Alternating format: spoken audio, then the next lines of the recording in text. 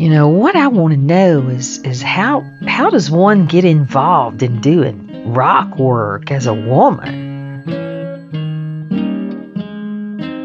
Do you really, really want to know? Or do you just want the rehearsed response that I always give? What would happen if we chose to really tell the truth about ourselves. Like if we really, really just told the real truth of our lives. I'm not saying that it's true.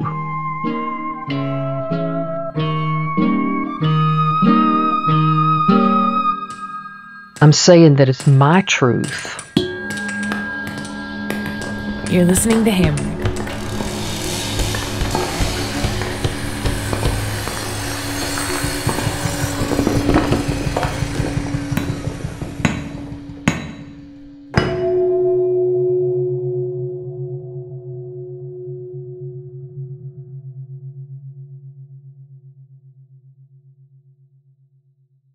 The fall of 2021 had started to be a time of sort of eager anticipation.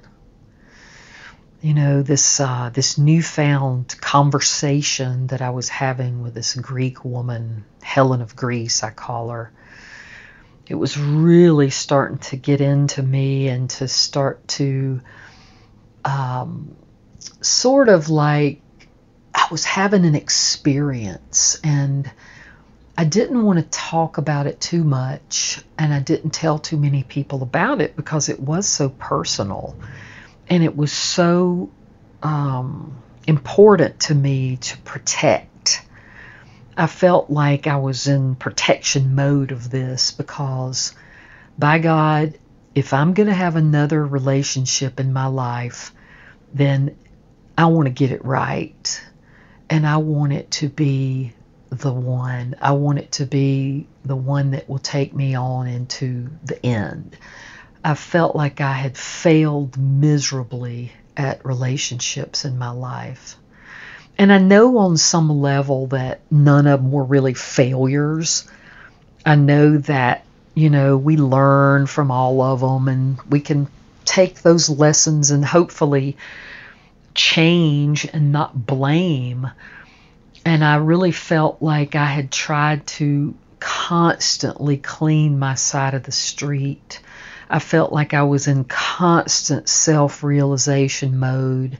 You know, I am my worst critic, and I do take my inventory probably a lot deeper and more serious than the average person because of this criticism and this, you know, this inner critic.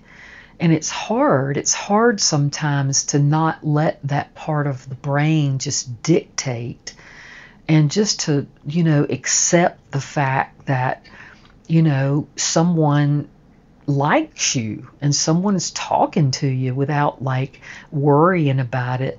But I, I found myself having, you know, anxiety about it because I wanted so much for something to work out in my life. And this new, um, you know, person in my life that I hadn't met yet in person, but I felt closer to than I had felt to anybody in years. And I remember therapy lady, you know, years and years ago saying, you know, Jill, it's like you're addicted to the attraction phase of a relationship. And it used to piss me off, but you know, she was right. I was addicted to that, and why wouldn't I be? I think we all are. Who who doesn't love being in love? And I I, I didn't want to say that I was falling in love. I didn't want to say that because I didn't want to jinx it, and I didn't want it to you know, blow up in my face. So I wasn't going to even go down the love road.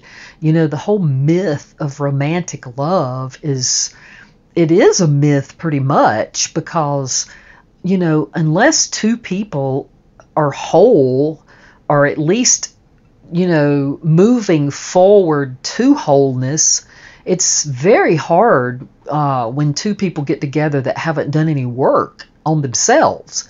It's usually a disaster. And I don't believe that that's psychobabble. I believe there's a lot of truth to that because I've experienced it. I've been in layers of relationships of work and non-work and you know putting band-aids on relationships and expecting things to just be okay. And then also you know sweeping shit under the rug on a constant basis. You know the relationship that I had been in for that past 12 years prior to the 2 years of being alone I had just gone into this reclusive place of dimming my light and shutting myself down in order to keep peace in the household and try to make everything okay for the other person. And all it was doing was just chipping away and chipping away and chipping away at my own self worth. And it was making me sicker and sicker. And I just hated the way I felt about myself. I wasn't taking care of myself. But by releasing that and finally, you know, moving back to Asheville and but there was time for, you know, introspection. There was time for healing and there was time to figure out what it is do I really want in my life. And and I didn't have like a a um a relationship on my radar at all and really not until starting to work for this ex person that had been sort of a love interest did it kind of get all that going. And then i was mad at myself for feeling and i beat myself up like why do i feel this way? And i just wanted it all to go away and i didn't want to have any kind of attraction but i thought god you know i'm not old. And so with all that you know the fall of 2021 was looking a little brighter because it was like, you know, I was having this great conversation with this foreign woman and I was working and my work my work was good. I had a young man working for me who seemed to be happy and liking it and you know, and so my friend Janet, uh, her and her husband, they had been kind of talking about their yard a lot. And, you know, people love to pick your brain about landscaping. And we would always joke around about it. It's like, you know, what would you do in this area? What would you do in this area? And they had this front kind of courtyard kind of area. And I was like, why don't y'all just let me just do this for y'all and, you know, install like a Japanese garden and like really just do it and make it you know, low maintenance. And so I had this vision and, and they were on board, you know, and, during that time, they were also looking into uh, renovating their house and their kitchen and they had met this young couple that was kind of new to Shelby, and they were um, they were kind of like organic farmer. The the guy was like an organic farmer kind of guy, and the young girl was a landscape, not a landscape, but a architectural design person. And so you know they they had sort of said, oh, you should meet them. They're really cool and blah blah blah. And so one day when we were there, um, they this young couple shows up and so the guy comes walking toward me, and he was a real good looking kid. He's not a kid, he's 30, but to me, he's a kid, and had this curly red hair, and just really attractive kid. And, uh, you know, tall and handsome, and had a big smile. And so we introduced ourselves and just sat and talked. And we all went in the house, and they had a little puppy named Brewer and uh, and we were kind of the dogs were all sort of playing Minnie and Emmy and Brewer and they're all playing and we were just kind of sitting there talking and and he was working at a uh, a local landscape company in Shelby and he was telling me a little about it his experience and and I was really intrigued to listen to it because my landscape life had been so many years in the making you know, I started at such a young age in that world, and I had no idea where I was going to end up. I had no idea that I would even stick with anything like that. And he was telling me his experience, and I was sitting there listening to it, and I was kind of getting sick to my stomach because it was reminding me of those like early days and how in that world of, you know, time is money, time is money. It just it's it's sort of abusive. It's sort of abusive to employees because they're not given a whole lot of direction, but they're expected to just pull miracles out of their ass.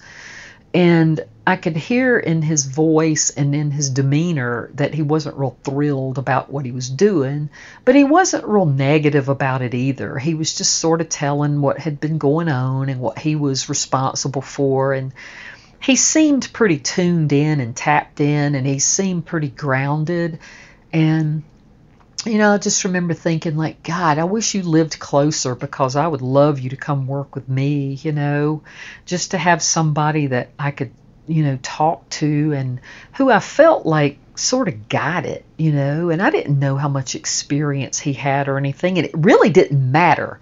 The thing is, is that it, you don't have to have experience in this world. It's like if you have a good teacher, then you just bring your best self forward and and you know, I could teach him. I felt like the more he stayed there, the more he was going to learn from them, which is going to be just bullshit most of the time. I mean, sometimes they learn, but a lot of times it's shortcuts. A lot of times it's uh, it's just about the bottom line, which is that money line and I thought, you know, there's, you know, you want to have a little bit of passion in the work, don't you think? I mean, don't you think you want to have a little bit of creativity and a little bit of passion and a little bit of enthusiasm, or do you just want it to be a goddamn get the money and go? And most of the time, and I maybe I'm generalizing, but most of the time it's about get the shit done and get the money and go. And I have watched it and watched it and watched it. I watched it through my entire Atlanta landscaping career, and I had watched it for the last 21 years in Asheville. And I had watched, you know, just that whole thing and how and I mean, don't get me wrong. Yes, I got to make money. I need to make money. I want to make money. But I also have to, you know, put an element of care and an element of creativity into the mix. Or why in the world am I doing this? This is too physically hard to just be doing it for the money there has to be some sort of payoff that makes sense, or I cannot continue to do this. But the afternoon kind of went on, and we had talked, and I really enjoyed him, and I really enjoyed his girlfriend who was going to become his fiance. Maybe I think he might have already asked her to marry him, and she was just adorable, and she was very smart, and they were both just really with it and I think they had moved from Raleigh and now they were in Shelby, and I think it was kind of hard for them because Shelby doesn't have a, a lot of uh, young people, um, you know, up and coming, open minded young people. I think it's a pretty conservative place. I think there's uh, groups of people there that are maybe uh, trending toward organic, clean eating and and things of that that nature. But I think for the most part, it's still kind of behind the times, especially compared to Asheville, which is an hour and a half away. But you know, it's just like in Atlanta. It's like there was Atlanta, and then there was like Acworth. You know what I'm saying? Or you know, it was this two different worlds. You know, 45 minutes north of Atlanta was like a just a crazy backward Woodstock kind of way. Not Woodstock, New York, but Woodstock, Georgia, which was kind of compared to, you know, Paulding County and Dallas, Georgia, which those places now are just suburbs of Atlanta. I mean, hell, the suburbs now go to like Dahlonega, which is like about an hour from the North Carolina line. It's crazy. But all of that, you know, I had a lot to think about after that couple left and Janet Don and I, you know, we sat and we talked. And the thing about Janet and Don is they they really helped me to just sit down and relax. I had not sat with people and had conversations in so long. And going down to their house on the weekends and going out on the boat and hanging out with, you know, the dogs and just having this kind of fun time was really it was really special and sometimes you know when you're when you're in that you don't realize what kind of good time you're having. You know, you kind of uh, go on. I've got Minnie, my Shih Tzu, who's digging right now in the the bedspread, and I'll just let this play out because I think she wants to be on the podcast. She was in, you know, uh, she was in the first couple of seasons. There were a couple of times where I just let it rip. I just let her dig. Shih Tzus have this thing where they have to. Um, they kind of they call them the emperor's foot warmer. You know, it's a it's a Tibetan thing, and they kind of have to dig and make them a nest. And uh, and she sort of knows when I'm recording, and I think she has to say her two cents worth, which is like, I'm right here, and I want to be remembered in this thing. And, you know, 20, 30 years from now, when Hammered is out still in the world somewhere, and we're both gone into the ethers, into the next dimensions of whatever, um, it'll be kind of funny to listen and hear this Shih Tzu scratching so sometimes you just got to let things play its, you know, you just got to let things run its course. And, uh, but that night after the kids, after those, that young couple left, um, Janet and Don, and we sat around and we talked about stuff. And I decided to go. And, you know, the, the fun part was that I had, uh, I felt like I had a, I felt like I had a companion in my pocket with my phone.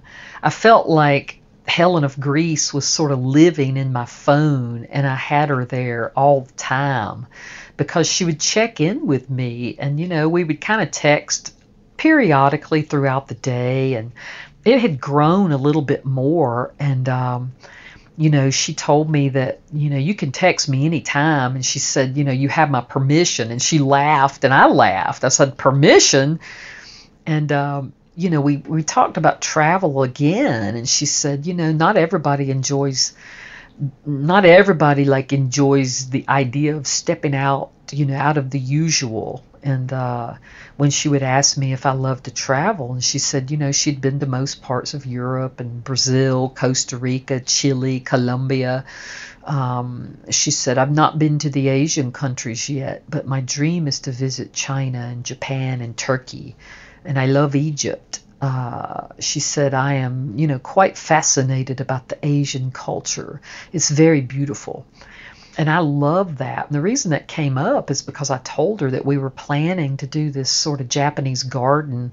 It wasn't going to be like total Japanese garden. I'm not Japanese for one thing, but I do have a, a pretty strong vision. And I, t- I was telling her uh, that Janet and Don were going to kind of give me free license to create this for them. And and she was saying, you know, it is it is so uh, important you know, your imagination creates these images. Because I told her, you know, that I dreamed my work a lot of times and I just saw these visions. And, and she says, You are so lucky to have that, Jill. You know, you are a visionary, and it is very important that you you take these images and you put them out there. You know, that's your imagination at work.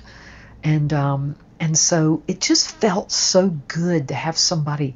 I felt like I had somebody on my team, and I felt like I had somebody that was in support of the things that I talked about. And she was really interested. And I never had anybody that was that interested in my work. I just hadn't.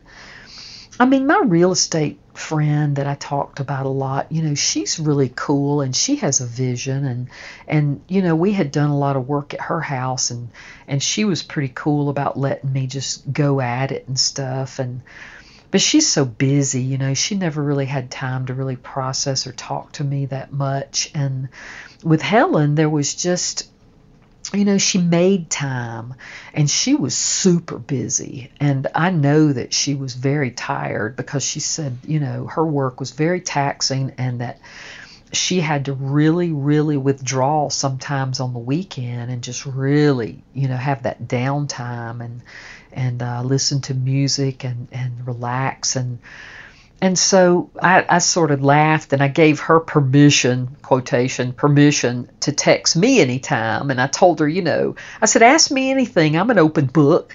And she laughed and said, you know, you make me smile, babe.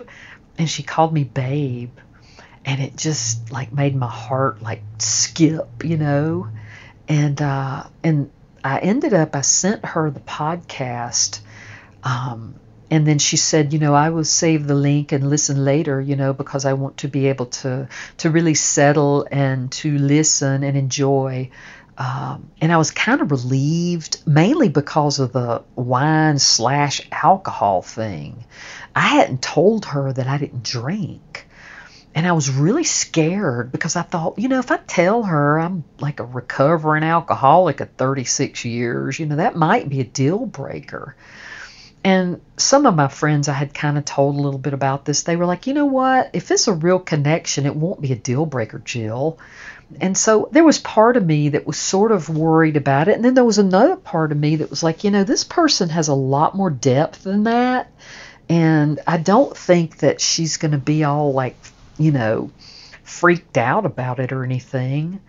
But you know, Europeans, they don't uh they don't seem to have the alcohol problems like we do in the United States, or at least you don't hear about it. Um, you don't hear about all the treatment centers and all the damn shit that goes along with that destruction. I just don't think that they uh, focus on it like we do here. I don't know because I don't. I've never been there, but I've heard things. I've heard that, you know, in Italy they've just got wine on the table and the kids drink wine. I just, you know, so she had mentioned a few things here and there about having a glass of red wine and but she didn't seem like, you know, somebody that was just constantly drinking wine because she was super busy. Um and so you know, she told me that she was really open-minded and uh and her email was actually she gave me her email and the email was actually neutral cord was her email uh, name without the rest of it. But um, I asked her I was like what is that what do you mean by that? And she told me that she was neutral on many topics that people tend to argue about like politics and religion and status quo um, you know, and I, I had kind of hinted that I had a colorful past, and she assured me that she didn't judge. You know, and the word normal was also an opinion. She laughed and she even said, you know, normal implies that you have to be and act a certain way. And she went on to tell me that she had always been the re- the rebellious one in her family, and that maybe she um, maybe she wasn't the normal one um, you know, Helen said, I, I remember she said, I have a mind of my own and I'm not very big on following rules, especially if my spirit doesn't accept it. And that really stuck with me. I thought, this languaging is just everything that I want to hear. I love it. My spirit doesn't accept it. Like, who says that? Helen of Greece says it. You know, I told her I was pretty much the black sheep of my family. Um, and I kind of explained, and, and she knew what black sheep was. What was funny is that some of the things that we would talk about, I could tell there was a um, sort of a, I could tell when she didn't quite understand it. And sometimes she just asked me, What does that mean? Um, you know, and and that was interesting because I just assume that people know what certain things mean, and so sometimes, I, and I, I kind of started getting the habit of saying, "Do you know what I mean?" And and I think I say that a lot anyway, but then I felt like I was really saying it a lot, and then I thought, Jill, quit asking her that. You know, I was so uh, micromanaging my own languaging because I didn't want to screw it up, you know, and and so. Um, as we were talking, you know, um, I would shift the conversation, and finally, I just point blank ask her. I said, "So, what are you looking for on online dating, Helen?" And you know, she sat there quiet for a minute. She says, "You know, I'm I am looking for a true companion, Jill. someone that I can connect with on a higher level, you know, someone who knows how to communicate, uh, who wants to meet for a coffee. And uh, I want to be able to look into her eyes, for the eyes, I do believe, are the, the window to the soul. And she went on to say, you know, I, I hope to find someone who effortlessly puts a smile to my face, someone I could call a friend and see where this leads us that we become best friends and listen to each other and learn from each other and always have each other's backs. We love and care for each other through good times and not so good times. We feel comfortable like wearing a good pair of fitting shoes, just the right fit. We believe in God together and travel together and build a beautiful home together. Empathy, respect, dignity, clarity, thirst for knowledge about each other, passion, holding hands and kisses and hugs, enjoy common interests together. She had such a thoughtful answer. I loved her answer, and I responded with, you know, the talk of presence and being in alignment with self and how two people with, that are in alignment can do anything together.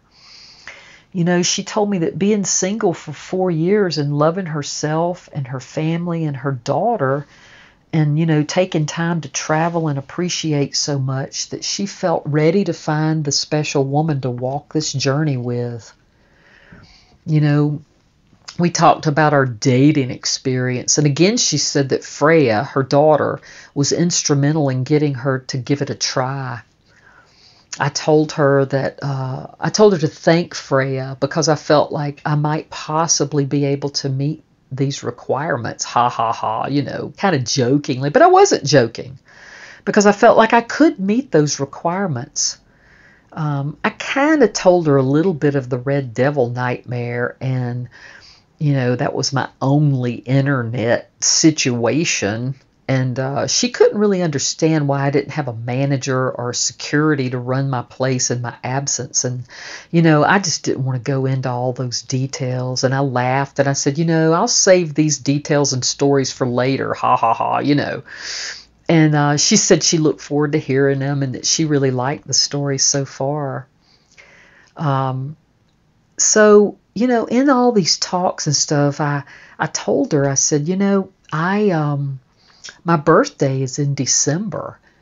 You know, I said, and we had been talking for maybe, you know, um, two months. And I said, what I'd really like is maybe I could, uh, and you know, first, you know, backing up a little bit, we were both laughing about like how we met, how do you meet people, and that's why the whole online dating. And I said, you know, Helen, I'm gonna have to be honest with you. I've never really asked anybody out in my life. Um, I said, you know, I my last relationship, um, I kind of pursued this person, and eventually she gave me her number and said, "Okay, you can. I'm going to text you my number, and then you can call me." She was sort of like punching me in the face, saying, "Call me." Uh, you know, which I did, you know, I did ask her to go have coffee, but it wasn't really like a formal date or asking anybody out or whatever. I just said I had never really had practice in that because of my generation, you know, and and I asked her, I said, you know, does it bother you that I'm 10 years older than you? And she laughed and was like, no, you know, she said, it's just a number. And she went on to tell me that her father had been quite a bit older than her mother and um, her mother was only 71 and uh, she was 49 so her mom had had her pretty early. But um, so when we were talking about this whole dating thing you know i said well you know maybe maybe i'll come down to charleston and maybe we can have coffee. And she she said uh, you would do that? You would come on your birthday? And i said yeah. And she says that's an awfully sweet gesture and she says, I find that very, very sweet. And I said, Well, I'm a pretty sweet person. And uh, and then I said, you know, there's a couple of places I know that I might could stay. Um, you know, one of them was like the Francis Marion Hotel, and then another was like a Battery, the Battery Park Inn. It's kind of a haunted place, but I was kind of, you know, just kind of jabbing at it a little bit, and um, and she got kind of quiet, and then she said, uh, "Are you asking me out?" And I said, "Kinda." like that, kind of laughing, you know. And we were talking on the phone, and and she says, "Well, um, you know, I I would like to be able to give you a wholehearted yes." And when she said that, like it made me sick to my stomach. Like I was like, and I said, "Oh."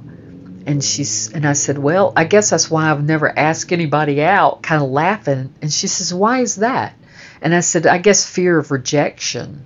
And she says, "I am not rejecting you, Jill." She says, "I am just telling you that I I want to be able to to give you 100% yes." And you know, in my mind, I was like, Jill, like, grow up. Quit being a fucking baby teenager here. You know, this woman is telling you that, you know, she wants to be able to, she, maybe she's not that into you. And then, of course, I started spiraling inside of myself. But I played it cool. I was like, okay. I said, yeah, yeah, yeah, that's fine. Oh, yeah, I understand. I understand. Um, and you know and and I was dying inside because I was thinking oh my god did I just blow it you know did I just now blow it and then she went on to say she said you know I I spent a lot of time in a situation and it took me years to overcome and to get myself back and I get to choose and I get to make these decisions. Do you understand that? And I said absolutely I understand it. Because I I too had been in the situation where I didn't have I didn't feel like I had much of a choice a lot of times and I get that. And so she says, "Are we good?" And I said, "We're good. I'm good."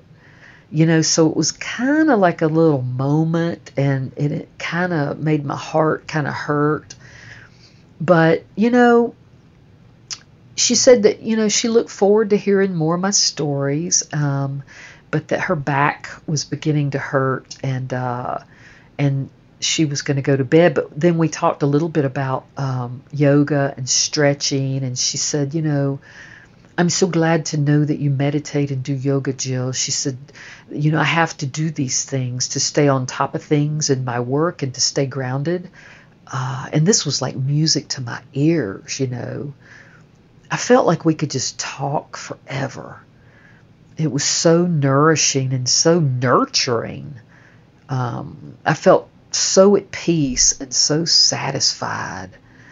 You know, I remember saying, uh, "This is such a good conversation that we're having," and uh, and we were getting ready to hang up, you know, and I just there was so much more I wanted to say, and so right when we were hanging up, she said, "Good night, beautiful." and my heart felt like it was just gonna explode.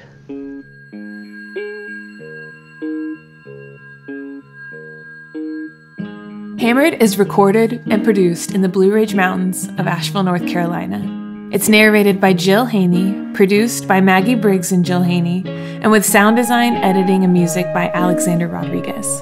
Our beautiful artwork was created by Lauren Caddick, and we'd like to send a special thanks out there to Minnie and Robin. You can check out our website, podcasthammer.com, and follow us on social media for updates.